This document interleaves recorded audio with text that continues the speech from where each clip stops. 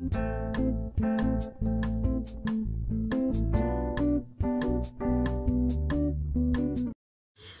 and welcome back to my channel blossoms with Richa मैंने पहले सोचा अपना वीडियो शुरू करने से पहले आप लोगों को कुछ फ्लावर्स दिखा दूँ अपने गार्डन के, जो कि इस समय बहुत बढ़िया खिले हुए हैं और बहुत ही सुंदर लुक दे रहे हैं हमारे गार्डन में। तो आज हम बात करेंगे चांदनी के प्लान के बारे में। इसको डबल चांदनी भी बोला जाता है और कहीं चांदना भी बोला जाता है इसको। इसका जो फ्लावर होता है बिल्कुल गंदराज के फ्लावर की तरह होता है, लेकिन बस दोनों में फ़र्क ये होता है कि जो गंदराज होता है उसमें बहुत बढ़िया खुशबू होती है। और डबल चांदनी के फ्लावर्स में कोई खुशबू नहीं होती है। दूसरी चीज़ ये है कि गंदराज में बहुत कम कलियाँ आती हैं, लेकिन इसमें ढेर सारी कलियाँ आती हैं। देखिए, आप जैसे देख रहे हैं, पूरा हमारा जो प्लांट है, वो फूलों और कलियों से एकदम लदा हुआ है। तो और इसकी लीव्स वगैरह भी आप देख रहे हैं, कितनी हेल्दी और कितनी बढ़िया है। तो ये जो प्लांट है, ये गर्मियों के लिए बहुत बढ़िया रहता है। खूब ढेर सारी फ्लावरिंग करता है और बहुत बढ़िया लुक देता है हमारे गार्डन में। अब इसकी बात करते हैं इसके सॉयल मिक्स की तो इसमें जो हमें सॉयल मिक्स लेनी है, वो वेल ड्रेन सॉयल लेनी है, जैसे कि आप लोग देख रहे हैं। इसमें हम लेंगे वन पार्ट जो हम लेंगे, वो वर्मी कंपोस्ट का लेंगे। वन पार्ट हम इसमें लेंगे गार्डन सॉइल का और वन पार्ट हम लेंगे सैंड का। सैंड आप इसमें कोई भी यूज़ कर सकते हैं, जो आपके पास अवेलेबल हो। चाहे महीन वाली, चाहे मोटी वाली। तो तीनों का एक एक पार्ट बराबर क्वांटिटी में मिक्स करके हम इसका सॉइल मिक्स बनाएँगे। और इसको हमें ऐसी जगह प्लेस करना है जहाँ इसको चार से पाँच घंटे की धूप मिल सके। अगर इसको प्रॉपर धूप नहीं मिलेगी तो इतना बुशी और इसकी जो लीव्स वगैरह आप देख रहे हैं, इतनी हेल्दी है, वो चीज़ नहीं रहेगी। और इतने बढ़िया से हमारा प्लांट ग्रो नहीं करेगा। तो हमारा प्लांट अच्छे से ग्रो करने के लिए आपको जो चाहिए वो ये है कि इसको ऐसी जगह प्लेस करें जहाँ का पर तीन, चार से पाँच घंटे की बहुत अच्छी इसको धूप मिल रही हो। अब नेक्स्ट चीज़ जो आपको ध्यान देने की ज़रूरत है वो है इसकी वाटरिंग अगर इसकी वाटरिंग प्रॉपरली नहीं होगी तो भी आपका प्लांट अच्छे से ग्रो नहीं करेगा। इसको वेल ड्रेन सॉइल चाहिए। कौन सी सॉइल मिक्स लगानी वो मैंने आपको बताई दी है। तो इसमें जो हम वाटरिंग करेंगे, वो बहुत ज़्यादा पानी भी इसको नहीं देना है और बहुत कम भी पानी इसको नहीं देना है। इसको पानी देना है जब आपकी मिट्टी हल्की सी सूखने लगे, तब आप इसको दोबारा पानी देंगे। और जब अगर इसमें पानी की कमी होती है तो इसकी जो लीव्स होती हैं, वो ड्रॉप हो जाती हैं, नीचे की ओर झुक जाती हैं तो आप समझ जाइए कि इसको पानी की कमी है और लीव्स इसके नीचे झुक चुकी हैं। तो पानी इसको बहुत बराबर मात्रा में देनी है और ये देख के देना है, जब हल्की सी ऊपर की आपकी मिट्टी सूख जाए, तभी इसको दोबारा हमें पानी देना है, तभी ये अच्छे से ग्रो करेगा। मेरा ये जो प्लांट है, वो बारह इंच के गमले में लगा हुआ है।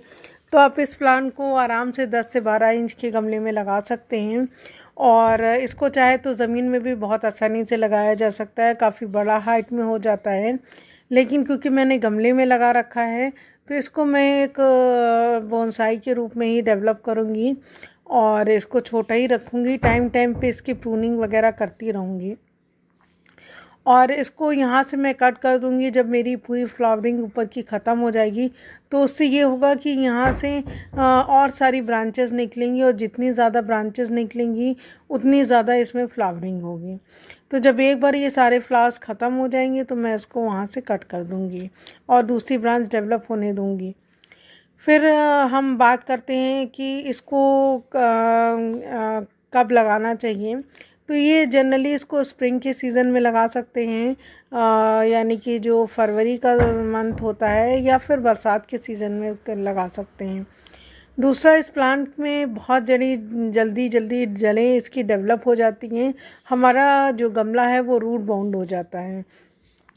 तो जब हमारा गमला रूट बाउंड हो जाए तो इसको हम या तो बड़े गमले में शिफ्ट कर दें या जैसा कि मैं करती हूँ, इसको वापस से निकाल कर इसकी जड़ों को प्रून कर देती हूँ और फिर वापस उसी गमले में लगा देती हूँ।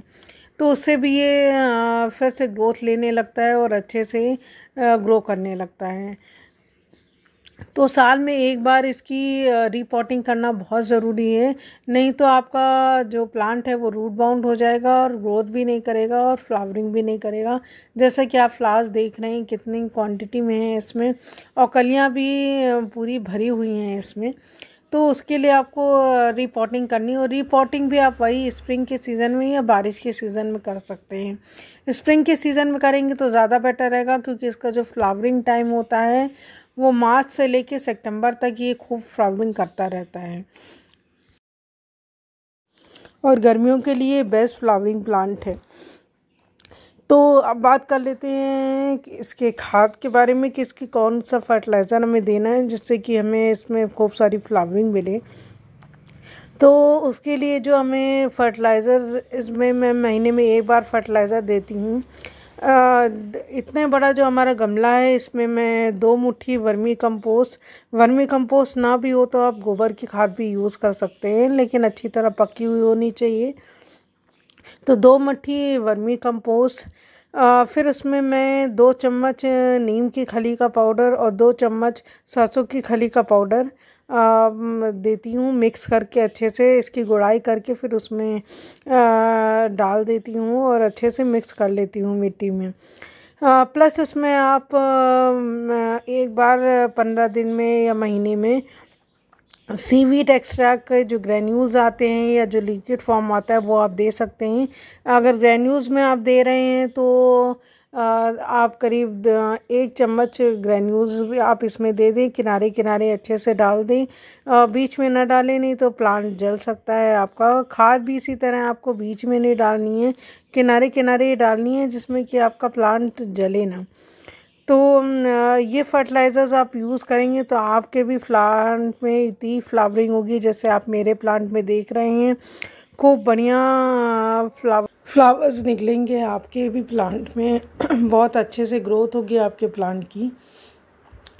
तो ये थे कुछ टिप्स इसके बारे में। हमने सभी चीज़ों की बात कर ली है कि आ, मिट्टी कौन सी चाहिए क्या फर्टिलाइज़र्स देना है और कितनी धूप में हमें इसे रखना है।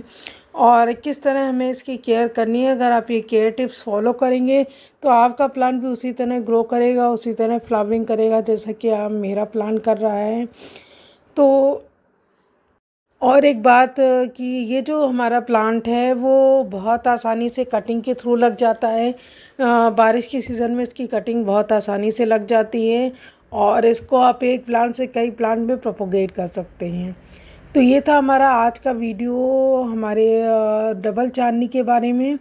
और ये एक छोटा सा लुक हमारे गार्डन का, जो कि इस समय हमारा गार्डन है। आपको कैसा लगा, कमेंट करके हमें ज़रूर बताइएगा। और अगर अच्छा लगा हो तो प्लीज़ लाइक करिएगा, शेयर करिएगा।